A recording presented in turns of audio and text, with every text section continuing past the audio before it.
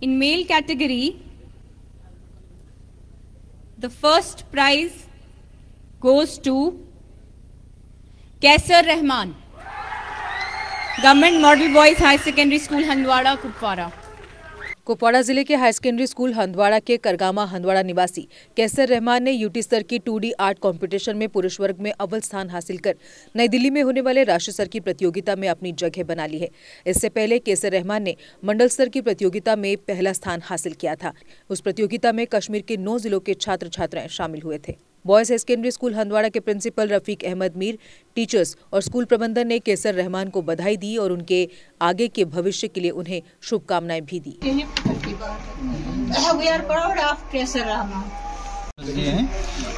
हमारा प्लेटफार्म और पॉलिश किया है। बाकी इसका जो टैलेंट था वो गॉड गिफ्टेड है। ये जो मैंने पेंटिंग में बनाई थी तो इस पेंटिंग का नाम है गर्ल विद पर्ल इयर तो इसका जो बैकग्राउंड है वो स्ट्रीट नेट से लिया है मैंने जो कि वैन गॉग ने बनाई थी और ये जॉनस वर्मीर ने बनाई थी। तो ये मैंने दो पेंटिंग्स को कंबाइन किया था। तो ये जो पेंटिंग है इसका नाम है गर्ल विद पर्ल इयर जो इयर है उसी पर इसकी स्टोरी है क्योंकि जो आर्टिस्ट था जॉन्स वर्मीर ने इस पेंटिंग को अधूरा छोड़ा था क्योंकि उसने कानून में छेद नहीं रखा था इस इयरिंग को। तो कहा जाता है उसने एक मतलब मतलब परफेक्ट नहीं रखा था इसे। उसने एक मतलब गलती छोड़ी थी और उसी गलती की वजह से मतलब इसे मतलब इस पर लोग रिसर्च कर रहे हैं। तो ये आज से मतलब मतलब 358 इयर्स एगो पेंटिंग बनाई गई थी। तो मतलब उसने 34 पेंटिंग्स ऐसे ही कुछ मतलब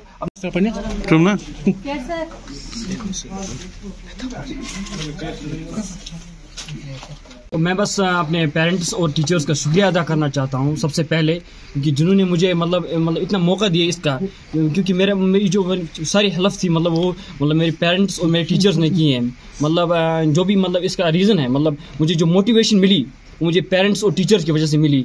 इवन कि जब मैं मतलब जम्मू में था तो मुझे नहीं लगता मेरी सिलेक्शन होगी। तो मैंने प्रिंसिपल सर से कॉल की थी सबसे पहले तो उन्होंने कहा था कि आपको सिलेक्शन के लिए ज़रूरी नहीं है। मतलब आप वहाँ तक पहुँच गए तो यही आपसे आपके लिए सबसे बड़ी बात है।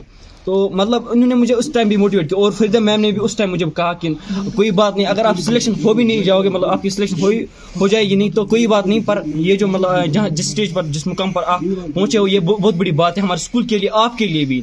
तो इस चीज़ ने मुझे मोटिवेट रखा। और जिस टाइम मतलब मेरा रिज़ल्ट आया तो मुझे बहुत खुशी हुई। मतलब मुझे ये इस बात की खुशी नहीं हुई कि मैंने ट्रॉफी ले ली मैं मतलब मैंने मतलब यहाँ पर इनाम मिला। इस बात खुशी हुई कि मेरे टीचर्स खुश होंगे इस टाइम मेरे पेरेंट्स खुश होंगे इस टाइम शौक कब से बड़ा आपको? ये शौक मुझे जब मैं नाइन्थ में था तो तो तब कोरोना वायरस चल रहा था। इससे पहले भी मतलब जब आर्टिकल पर हमारे यहाँ मतलब लॉकडाउन रहा तो पढ़ाई पर काफ़ी ज़्यादा बुरा असर पड़ा। तो जब नाइन्थ में चढ़ा तो फिर कोरोना वायरस का मतलब यहाँ पर अटैक हो गया तो फिर मतलब पढ़ाई पर काफ़ी ज़्यादा असर पड़ा। तो लोग मतलब बेकार थे घर पर और इंटरनेट भी उस टाइम टू चल रहा था। तो मैं बहुत ज़्यादा मतलब परेशान था, क्योंकि घर पर मतलब ऐसे बेकार बैठे थे। तो घर वालों ने फ़ोन भी दिए थे मतलब चलाने के लिए, बोला ऑनलाइन क्लासेस तो उतना कुछ खास नहीं था उस टाइम मतलब इंटरनेट की प्रॉब्लम भी थी। तो मैंने सोचा क्योंकि कहते हैं ना something is better than nothing तो मैंने सोचा घर में बेकार बैठने से अच्छा है कि कुछ किया जाए। तो फिर मैंने इस मतलब मतलब आर्ट पर मैंने मैंने सोचा इसी पर कुछ काम किया जाए। फिर मैंने मॉडल्स वगैरह crafting paper crafting calligraphy sketching paintings वगैरह इस पर मैंने मतलब इन पर मैंने काम शुरू किया। तो तभी से मैंने इनको स्टार्ट किया। फिर मैंने नाइन्थ से मतलब कंप्लीट इस पर मतलब एक साल दिया। फिर जब टेंथ में चढ़ा तो मैंने सोचा कि अब टेंथ हो गया, क्योंकि अब फोकस था, मुझे पढ़ाई पर ही, क्योंकि टेंथ भी था। फिर टेंथ में फिर ज़्यादा मतलब प्रेशर था मतलब कोरोना वायरस का। तो फिर मतलब मतलब मेरे टीचर्स भी, मेरे पेरेंट्स ने कहा कि मतलब कि आपने जो स्टार्ट किया है उसको आगे बढ़ा क्योंकि उसको मत अधूरा छोड़ो। तो फिर मैंने तब से कंटिन्यू किया है पढ़ाई के साथ साथ भी मतलब पढ़ाई मैं मेडिकल स्टूडेंट हूँ। इसके हम्म। मतलब उस हिसाब से मेरा मतलब आर्ट का कोई लेना देना नहीं पर मैं फिर भी कर रहा हूँ मतलब मेडिकल स्टूडेंट होकर। तो ये मैं समझ मैसेज है कि मतलब अगर आपके पास कोई भी टैलेंट है स्किल है मतलब मतलब ज़ाहिर करिए। तो उसको ज़ाहिर करिए। और हमारे यहाँ स्कूल में मतलब प्रिंसिपल सर और मतलब यहाँ के सारे टीचर्स मतलब इसको प्रमोट ज़्यादा कर रहे हैं। मतलब कोई भी इवेंट हो मतलब यहाँ पर मतलब इन चीज़ों पर ज़्यादा ध्यान देते हैं। तो इसी वजह से मतलब मुझे मोटिवेशन मिली मतलब सीरियसली अगर कहूँ मैं तो मेरे पेरेंट्स और मेरे टीचर्स यहाँ अगर आपका सपना कोई सरकारी नौकरी का है और अभी तक नहीं हुआ है सफल तो देर किस बात की? आज ही ज्वाइन करें कैरियर अड्डा जम्मू। जम्मू कश्मीर का एक ऐसा इंस्टीट्यूट जो बच्चों के उज्जवल भविष्य के लिए लगातार फ्री कोचिंग मुहैया करवा रहे हैं। JK SSB panchayat secretary SSC banking और अन्य गवर्नमेंट जॉब एग्ज़ाम्स के लिए हर सोमवार को नए बैचेस शुरू होते हैं।